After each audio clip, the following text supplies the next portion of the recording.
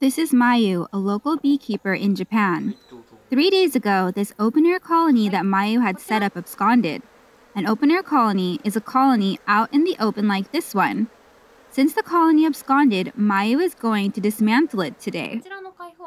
The reason for the colony absconding is still unclear, but hopefully there will be some clues why as Mayu takes the colony apart.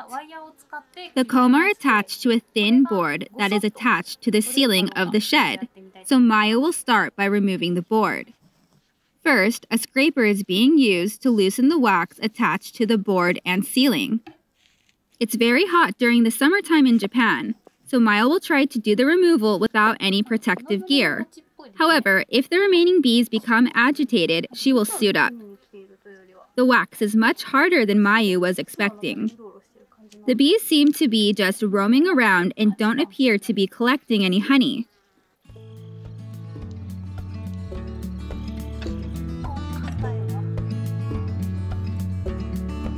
Mayu is struggling to loosen the board from the wax.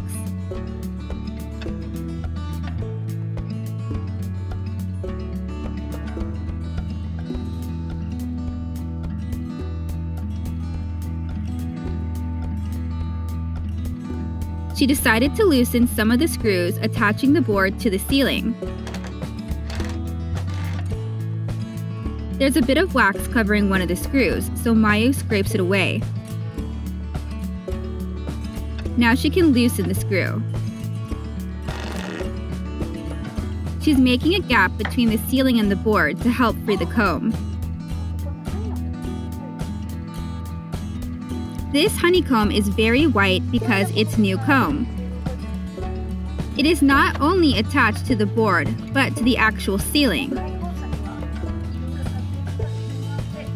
Mayu will remove this section of comb. This will make freeing the board easier.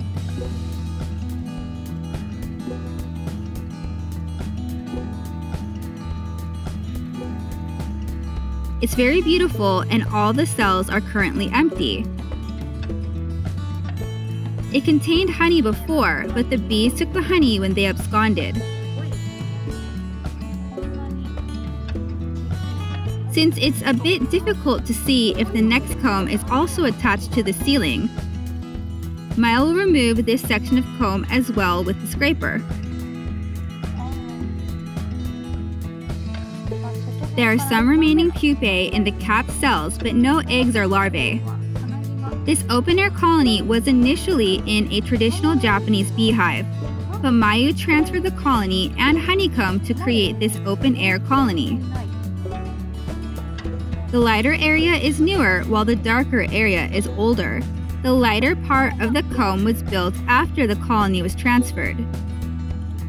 There are more bees than Mayu was expecting. The colony absconded at 9 a.m. three days ago. It's possible that the remaining bees had gone out to collect nectar that morning, and by the time they had returned, the colony had already absconded. The absconsion happened so quickly and lasted only about five minutes. The swarm headed towards the mountains. Mayu is almost done. Some comb is still attached to the wall, so she loosens those sections.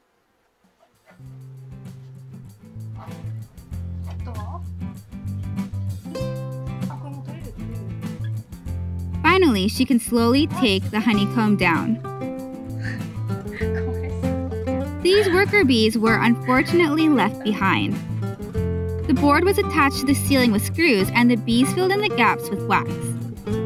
Today, Mayu doesn't have a blower with her, but she still tries to gently blow away some of the bees before taking the colony apart. She will place the comb containing honey into this plastic bag. There are still quite a few worker bees on the comb. Mayu carefully slides the scraper to detach the comb and tries to blow away the lingering bees to avoid injuring or killing them.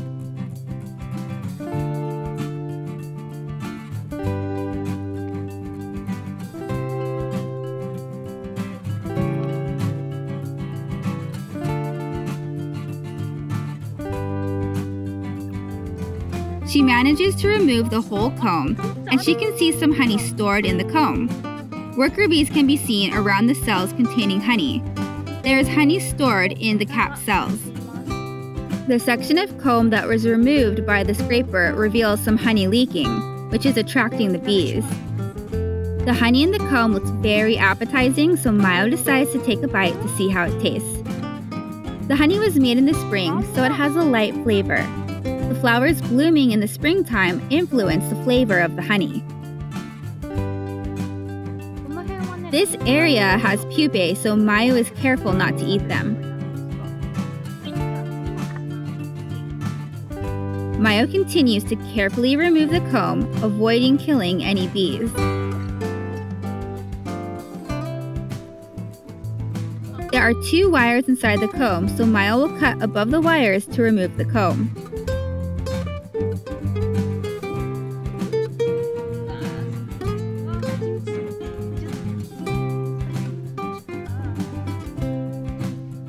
In this third comb that was removed, Mayu found some eggs and larvae. This suggests that the colony did not plan on absconding in advance. The bees likely absconded suddenly. This piece of comb is full of honey and pollen.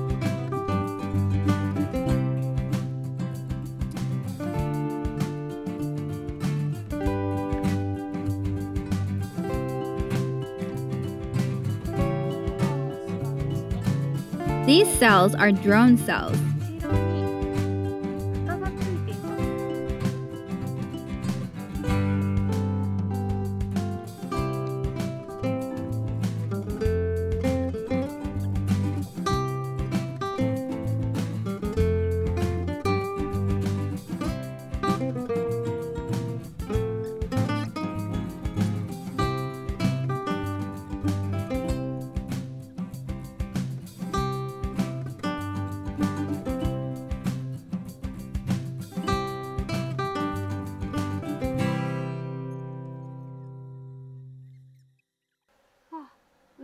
Comb contains quite a bit of honey.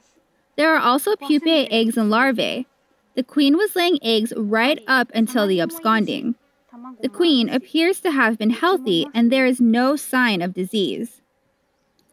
The most likely reason for the bees absconding was the disturbance from filming the colony often. Sometimes bears attack Japanese honeybees. Shimmering is a defense mechanism of Japanese honeybees to intimidate animals, such as bears. The colony would often display this defense mechanism whenever filming was taking place. It's possible that the bees mistook Mayu for a bear and decided to abscond since the bees might have believed that they could potentially be attacked.